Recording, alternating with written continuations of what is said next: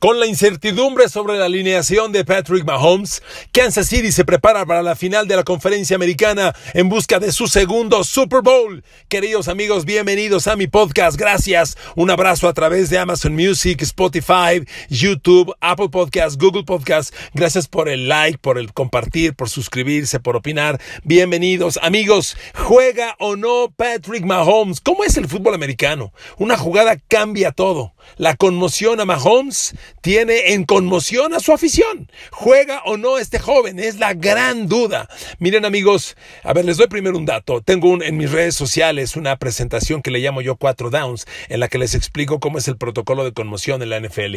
Primero una información, un dato estadístico. Los corebacks NFL que son conmocionados, en promedio, se recuperan después de siete días.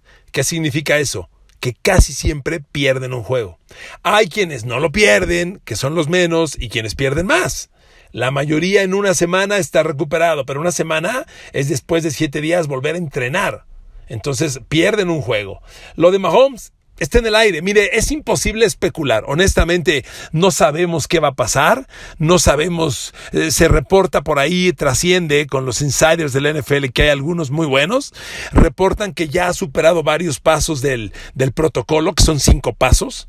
Eh, puede superar no es que supere uno por día, puede superar uno, dos, tres pasos en un día, puede ser, luego estancarse. Los neurólogos explican que la recuperación de una conmoción es totalmente variable y no hay estándares para especular. No puedes decir dependiendo qué tan fuerte fue el golpe, no.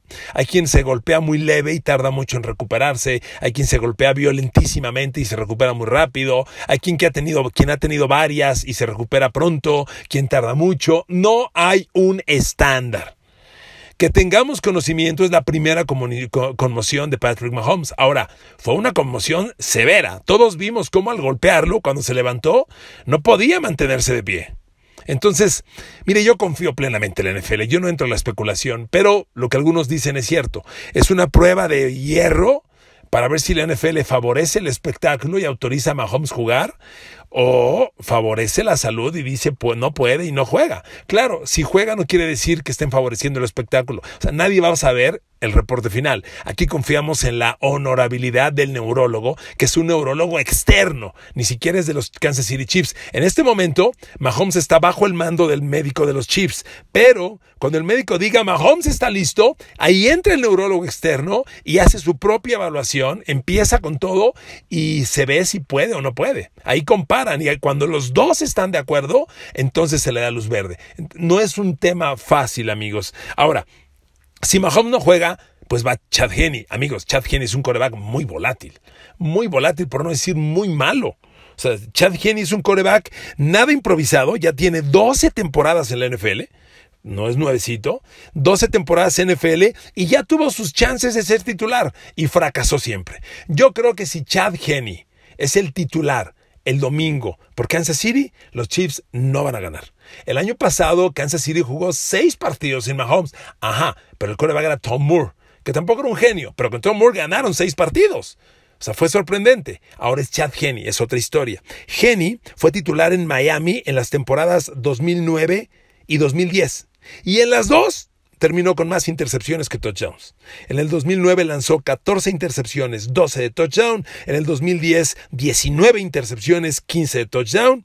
Y luego cuando lo corta Miami y lo firma Jacksonville, le vuelven a dar una chance como titular prácticamente dos años. Un año juega 10 partidos y termina 11 pases de touchdown, 11 intercepciones. Y en el 2013, que es titular 15 partidos, una temporada completa, vuelve a lanzar más intercepciones que touchdowns, 14-13. Y el domingo, cuando quiso ir profundo, le interceptaron. A ver, Chad Henney, cuatro cuartos, no le va a rendir a Kansas City, no le va a ganar el partido. Es mi apreciación. ¿Ok? Dejo aquí la especulación de Mahomes, porque no sabemos, es, es, tiempo perdido si usted y yo nos quedamos que sí, que no, que sí, que no. Aquí la honorabilidad del neurólogo externo es la que va a mandar. Yo creo que el jueves podría haber las primeras noticias certeras y sospecho que el veredicto se conoce viernes o hasta sábado tal vez. Es lo que yo pienso, porque le digo, la recuperación tarda siete días. O sea, que lo autorizaran el jueves sería insólito. Obviamente en la conferencia de prensa Andy Reid dijo, no, pues estaba re bien, pues pudo haber regresado. Pues sí, eso dice el coach. que no sabe nada de, neurología. Aquí es el neurólogo externo y por eso es externo, porque los coaches, por los coaches fuera que regrese. Al oír a Andy Reid el domingo uno se da cuenta. Estaba listo, pudo haber regresado. Pues sí, eso dicen los coaches. Entonces es un tema bien delicado, trasciende, cambia el escenario por completo, absolutamente. Y, no sabemos qué puede ocurrir, pero dejemos la especulación. A ver, yo voy a continuar mi análisis pensando que Mahomes sí juega, ¿ok? Bueno, ambos equipos se enfrentaron en la semana 6. Curiosamente, en la semana 6 también jugaron Tampa Bay y Green Bay, que son la final de la Conferencia Nacional y que voy a analizar en otro podcast. Aquí se enfrentaron en la semana 6, Buffalo y Kansas City. Y fue un partido en el que Bills, eh, Buffalo le pasó, le pasaron por encima. En realidad, no metió las manos Buffalo Bills. Y fue un juego muy inesperado. Todos esperábamos el gran duelo Mahomes contra Josh Allen. Y llegó Kansas City y dijo, ¿qué creen? A los Bills se les puede correr y les pasó como planadora por encima. En aquel partido, Kansas City, fíjese nada más, Kansas City tuvo 62 jugadas aquel lunes por la noche. De las 62 jugadas, Kansas City corrió 46 y generó 245 yardas. No solo corrió 46 veces, promedió 5.3 yardas por acarreo. O sea, fue una plancha encima de la defensa de, los Bills. El peor juego defensivo de Bills, sin duda. Y por si fuera poco, eso fue el ataque de Bills. La defensa, perdón, el ataque de Kansas City. La defensa de Chiefs dominó a Josh Allen. Absolutamente. Josh Allen terminó con un partido de apenas 50% de pases completos. Completó 14 de 27. Muy pobres números. 122 yardas por aire, por favor. Muy malo. 122 yardas, dos touchdowns y una intercepción. Disculpen los sonidos de mi computadora que de repente se acelera. Este, eh, le pasaron por encima a los Bills y Josh Allen no metió las manos. Fíjese, aquí hay un dato que le he comentado varias veces. No pensemos que la presión a un coreback se refleja solo en las capturas de coreback. Esa noche, los Chiefs nunca, nunca capturaron a Josh Allen. Sin embargo, su presión fue la diferencia. Déjeme darle en datos. Ya le dije que lanzó 27 pases Josh Allen. Pues lo presionó eh, Chiefs en 14. En la mitad. Es mucho. En uno de dos pases presionarte. ¿Qué es presionarte? Que rompe la, bolsa de bloqueo, que te obligan a correr, que lanzas eh, con un defensivo encima. Eso es presionar. Fíjese, ahí le van los números totales de la presión a Josh Allen. Chiefs no lo capturó ninguna vez, pero tuvo tres golpes, 11 apresuramientos, 34, perdón, 11, sí, repito, cero capturas, tres golpes, 11 presiones, 34 apresuramientos en total y, realmente, oh, Dios mío, cero capturas, tres golpes, 11 apresuramientos, 14 presiones en total. 14 presiones, 14 de 27 pases. Entonces, amigos, si te presionan uno de cada dos pases, traes encima la defensa. Y aunque no hubo capturas, lo dominaron. Sin lugar a dudas lo dominaron. Y aquí se abre otra estadística. Josh Allen, bajo presión, esto es casi normal, sus números no son tan eficientes. A ver, le doy un dato. El quarterback más presionado la temporada pasada fue Russell Wilson. Lo presionaron 251 pases de 660 que intentó, más o menos el 40%. ¿Ok? Bueno, a Josh Allen lo presionaron 233 de 628 pases que intentó. El tema es que Josh Allen tiene 12 touchdowns, 6 intercepciones, un balance 2 a 1 pues, que no es bueno, que es regularcito. Russell Wilson tiene 14 touchdowns, 6 intercepciones. El mejor coreback de la liga. Bajo presión, le va a sorprender este dato. ¿eh? Aquí un paréntesis en el análisis de Bills y Chiefs. El mejor coreback bajo presión, ni le atine. Le puedo pedir que atine y no le va a acertar. Fue Justin Herbert, el novato de Chargers. Terminó 13 touchdowns, dos intercepciones. Un balance de 6 a 1 o un poco más. Increíble. Esto es sorprendente y sobre todo en un coreback novato. No hay duda que ahí Chargers tiene un fenómeno que les va a dar enormes satisfacciones durante mucho tiempo. Pero bueno, compárelo con Josh Allen. Ahora le doy los números de Mahomes, si le interesan también. Patrick Mahomes bajo presión que fueron 222 pases de 653 lanzados, Mahomes terminó 8 touchdowns, 3 intercepciones. O sea, si usted presiona a Josh Allen, puede generar buenos números. Ahora, ¿quién lo va a presionar? Los Kansas City Chiefs apenas tuvieron 32 capturas de coreback. Son dos por partido. Eso es nada. Hablamos de que Pittsburgh tuvo cerca de cuatro por partido y fue la mejor defensa, claro, ya está en su casa o ya está de vacaciones. Los Chiefs tuvieron en Chris Jones su mejor hombre para presionar corebacks. Chris Jones terminó con 8 capturas, 22 golpes, 32 apresuramientos, 62 presiones totales. Después de él, el que me llama la atención es Frank Clark. Es el otro, son, claramente los dos mejores hombres que tiene Kansas City. Frank Clark tuvo 6 capturas, dos menos que Chris Jones, 10 golpes al coreback, 22 tiene Chris Jones, 28 apresuramientos, 32 tuvo Chris Jones, en total 44 presiones generó Frank Clark, 62 Chris Jones. Ellos son los dos mejores hombres. Ahora, duelos personales. Siempre le digo, el fútbol americano es un juego de duelos personales. A ver, ¿quién va? ¿A dónde va a atacar Chris Jones? ¿A quién van a bloquear? A ver, amigos, Chris Jones es un hombre que lo alinean de manera interna.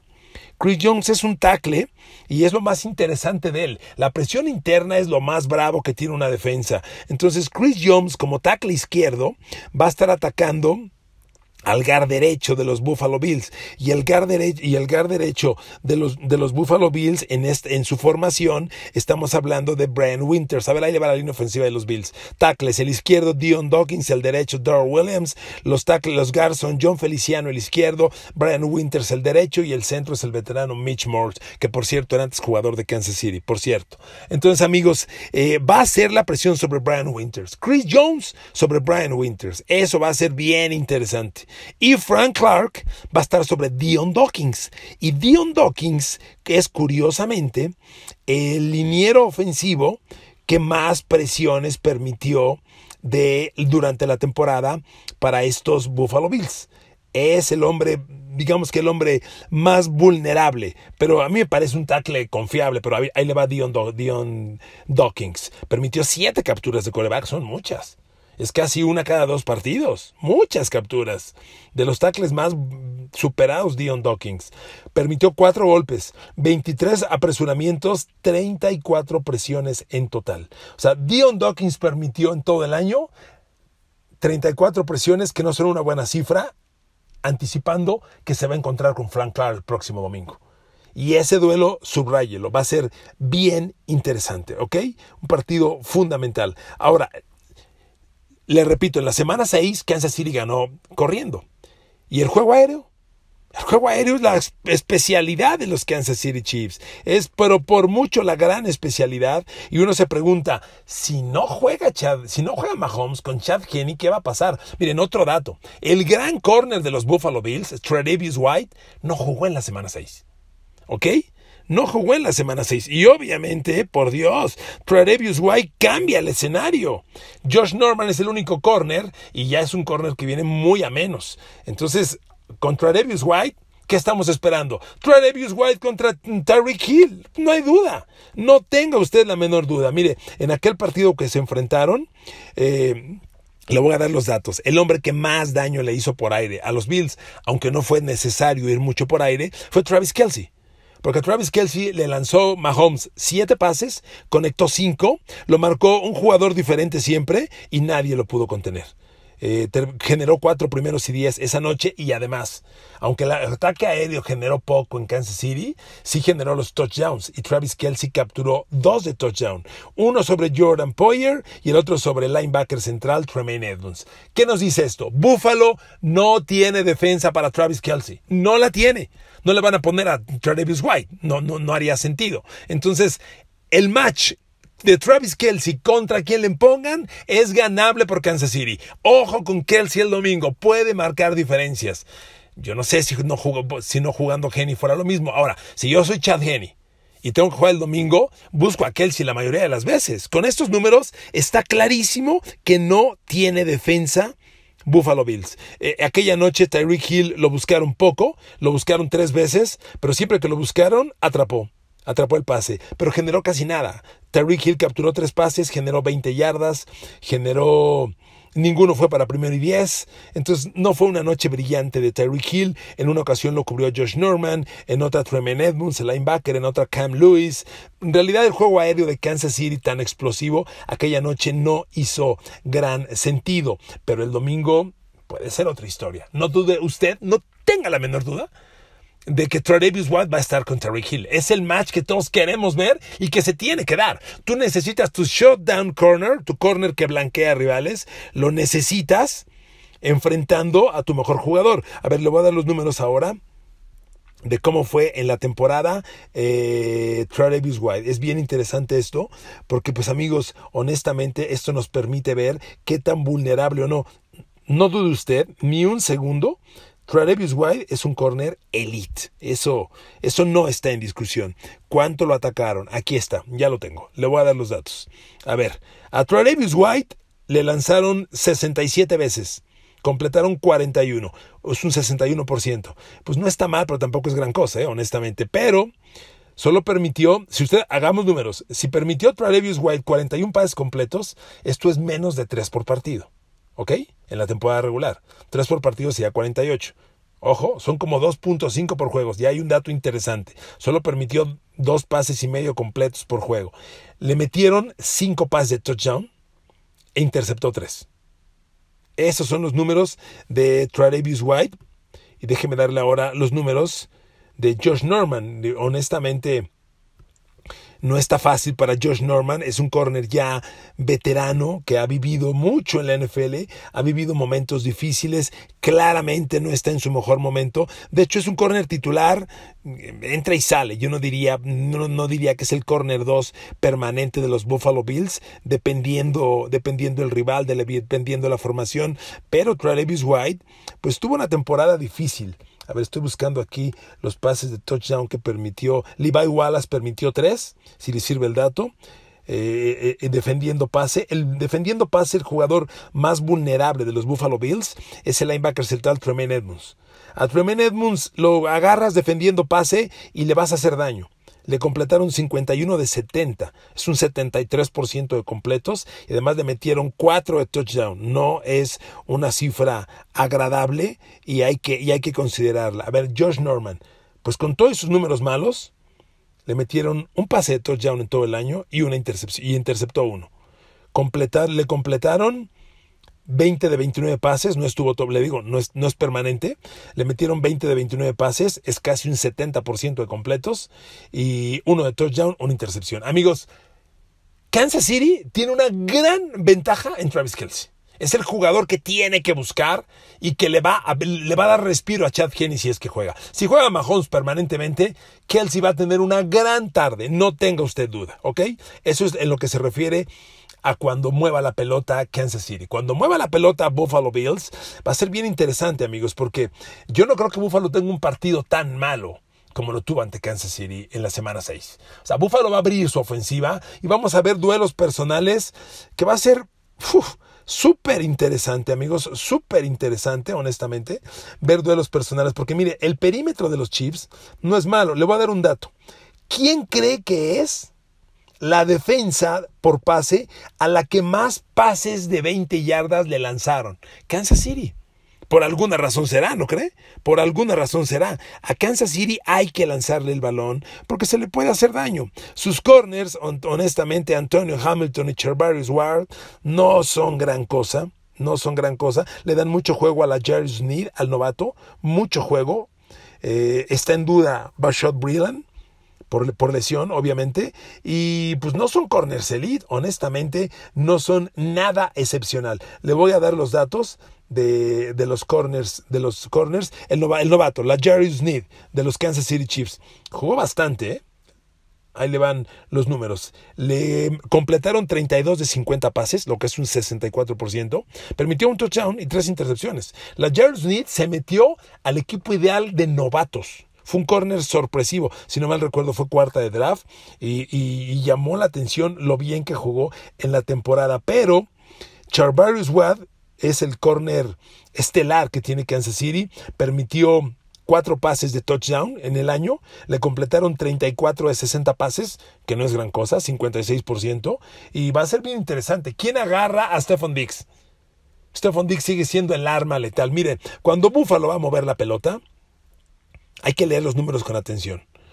Para mover el balón profundamente, Buffalo usa a Stephon Diggs y a Cole Beasley, claramente. Pero cuando llega a zona de gol, no son necesariamente los favoritos.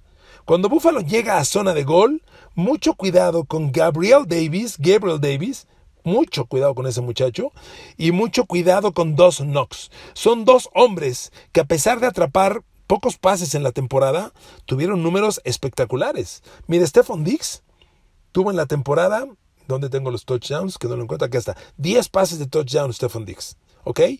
Pero déjeme decir una cosa, 10 pases de touchdown Stephon Dix con 141 recepciones. Es decir, un pase de touchdown cada 14 recepciones. Gabriel Davis tiene 7 touchdowns con 39 recepciones. Un touchdown cada 5 pases atrapados.